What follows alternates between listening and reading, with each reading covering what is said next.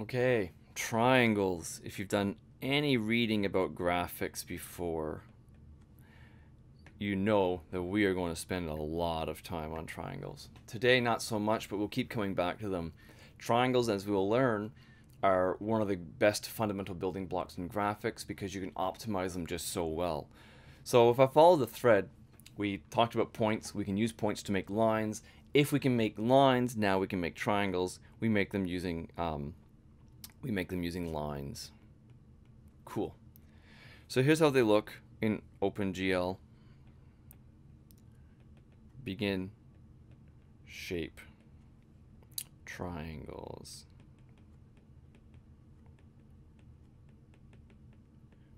So begin shape triangles. Now you give vertex like this. Vertex.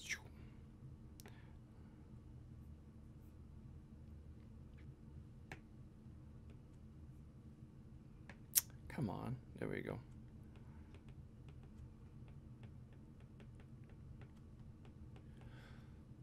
And then you can keep going.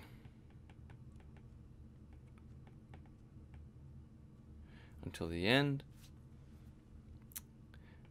And then we end our shape. One thing I don't think I mentioned the reason that the OpenGL immediate mode did it like this, where you begin a shape and end a shape, is because you're loading things into the driver, and it doesn't want to be loading things into the video card until it really needs to, or, or compiling them until it needs to. So you begin your shape, you end your shape, you've told OpenGL, I'm done with that shape, you can do what you want with it now. So that's why it has that pattern. Things are changing now, um, but this focus on optimization and letting things know, letting the card know or the driver know when things are happening is still really important. So with, with this code here, I begin shape triangles, cool. And as you might guess, every three vertices is one triangle. No surprise here. And then uh, one triangle. And then every three vertices gets you um, one triangle. Now, one thing about OpenGL is that it always fills the triangles. Where are we? Good right with. So OpenGL will always fill the triangles. You can't just get the outline. Can you think while I write this, how would I get an outline? So open GL always fills.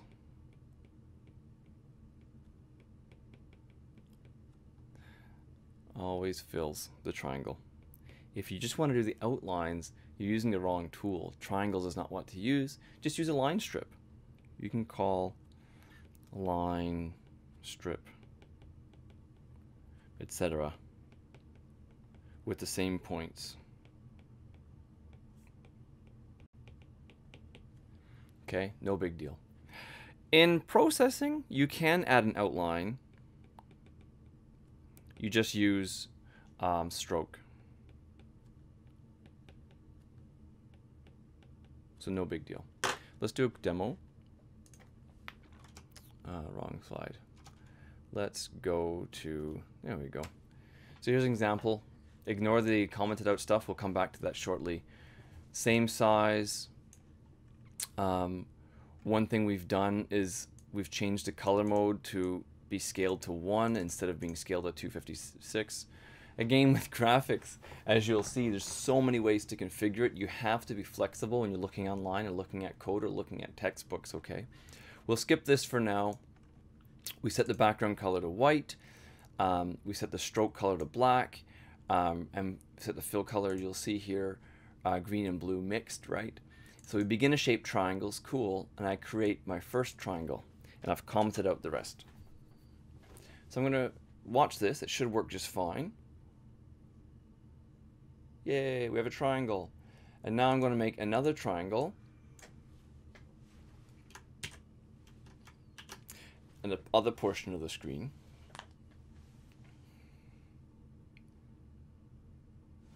Good, no problem. So I can add a second triangle to my begin shape. I can have as many as I want. And I'll add this third one. Now I want you to pay attention to this third one here. Look closely. Anything suspicious strike you about those coordinates? Well, we'll see very shortly um, what's wrong with them.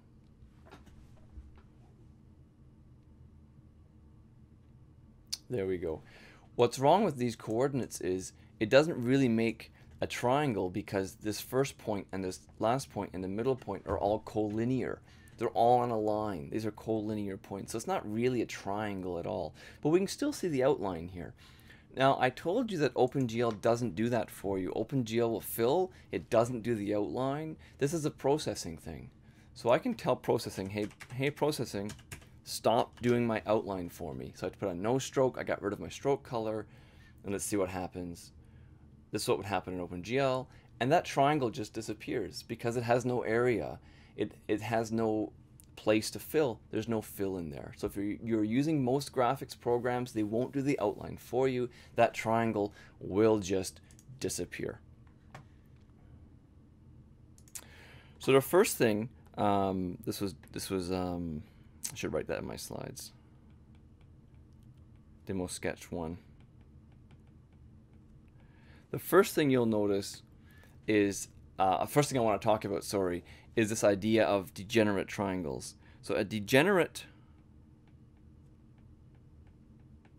degenerate triangles are basically not triangles, okay? If it has no area, that has no area. Okay, so like that, um, like that, you know, all three at one spot. This is two points at one spot, all three at one spot, or all three. These are all examples of degenerate triangles. Now, there's something else I want to show you in this demo. Oops, did it again. Um, something else I want to show you in this demo. So this is definitely not going to be obvious, but there are some important, this is this last one's degenerate, so it's gone, fine. But there's an important difference between these two triangles that's really not obvious, so you're probably not seeing it. Negative and plus, nope, that's not it. That's just what part of the screen it's on. So I can highlight this by turning on this code, which I'll talk about shortly. I'll come back and talk about this. So let's run this code. One triangle disappears. Okay, why is that? Well, it, it's because of a really important property of triangles. And this is called, uh, triangles have what's called winding. So that was demo. To show you what winding looks like. So let me explain what the heck I'm talking about basically, triangles have um, a direction that you specify the points in. So if I'm going to, I draw two triangles here, V0, V1, V2. I'm going to draw another triangle over here. I'm going to put V0 here, V1 over here, and V2. Now these can be the exact same triangles with the exact same coordinates. The difference is, in this case, z 0 to 1, 1 to 2, 2 to 0, this goes in a counterclockwise fashion, okay? This is called a counter clockwise winding. So they're the exact same points, but the order that you give them in gives it a counterclockwise winding. The other one, winding. The other one, 0 goes to 1, 1 goes to 2, and 2 goes to 0, this is a, actually I'm going to erase that. This is a clockwise winding. And then in our program, it decided not to draw that.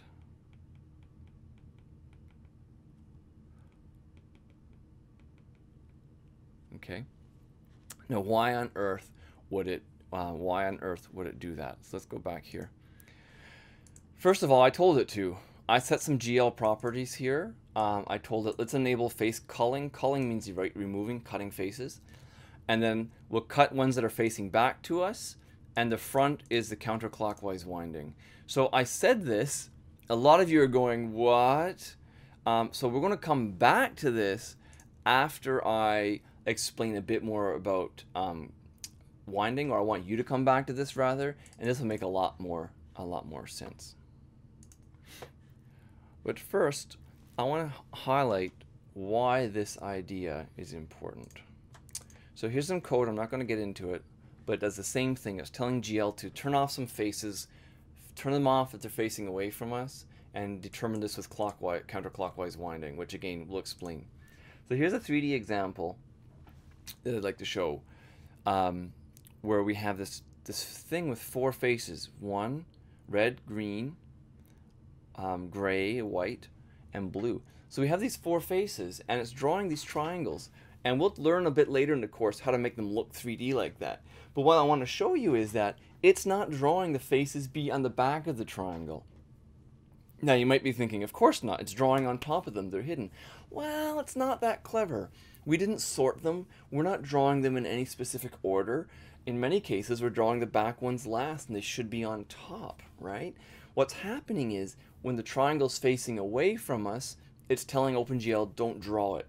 Call the faces that are facing away from us and only draw the ones that are facing toward us. So let's kill that. How on earth do we get that to work? Luckily, I know how. So it comes back to the math we've been learning. We can use the cross product here. We use the cross product to determine Okay, so we use the cross product to determine the winding. Now, the first thing I want to remind you of is that we're using a right-handed system. Remember, X goes this way, Y goes this way, and Z goes this way. It's a right-handed system. Um, so we can leverage that. In a right-handed system, um, the counterclockwise winding will have a Z direction that points out, will a cross product we'll have a cross product that points out of the screen.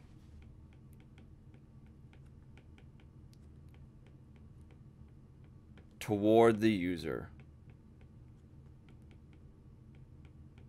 Okay, so if I look at the triangle on the left, V1 0 to 1 goes this way, so let's see if I can get my hand to twist.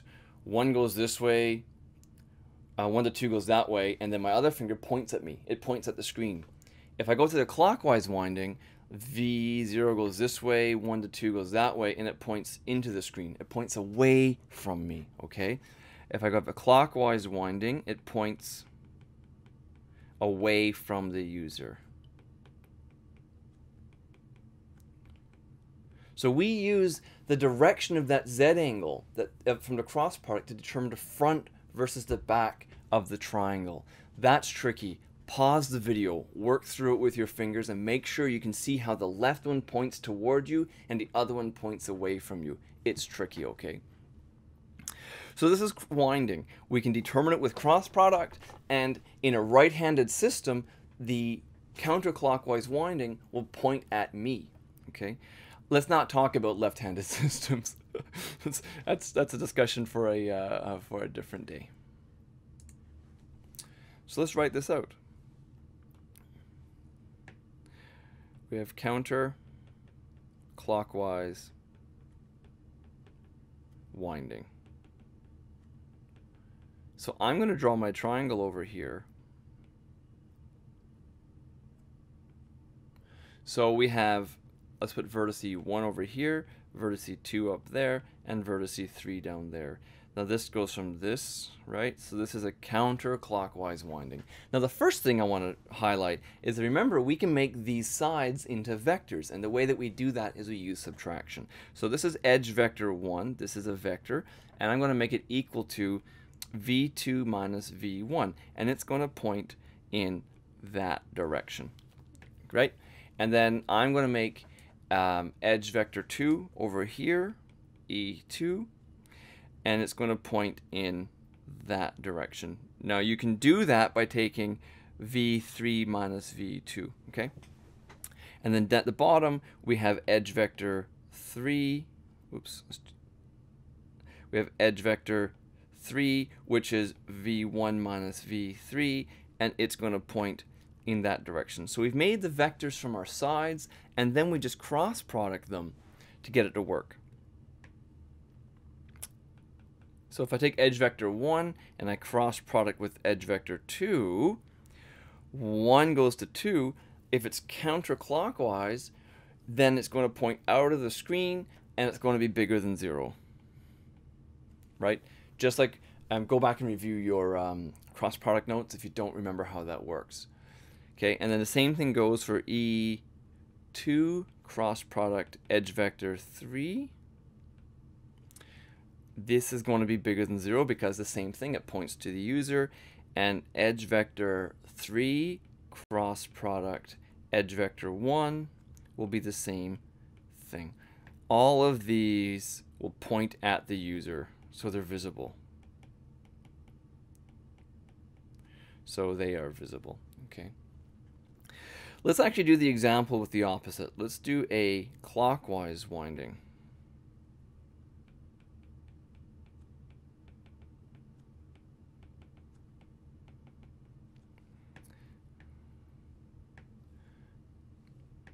So again, I draw pretty much the same triangle. Except this time, I'm going to wind it differently. Vector 1 goes here. Vic, uh, vector 2 goes vertice. Boy, it's not, not vectors at all, they're vertices. Um, and then vertex 3 goes down here. Now I want to highlight now the winding is in the opposite direction, 1 to 2 to 3. So my E1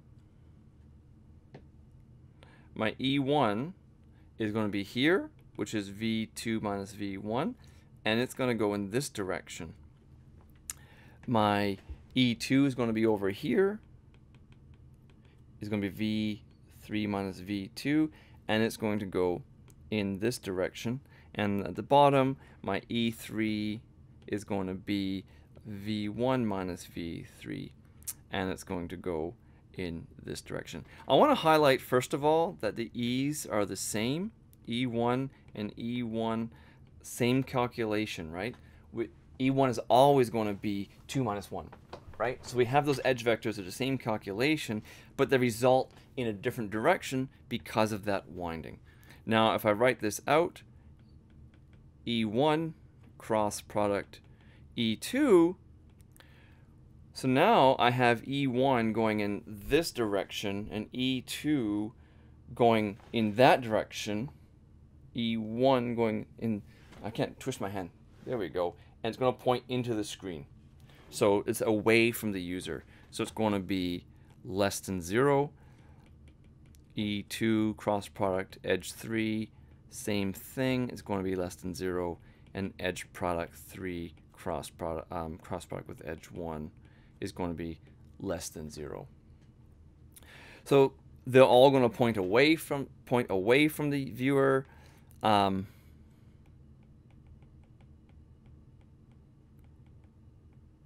away from the viewer. So then they're going to be hidden. They're going to be cut. What's cool about this is because the triangle only has three points, you don't need to calculate all three of those cross products, okay? You only need to calculate one you only need um, to calculate one cross product.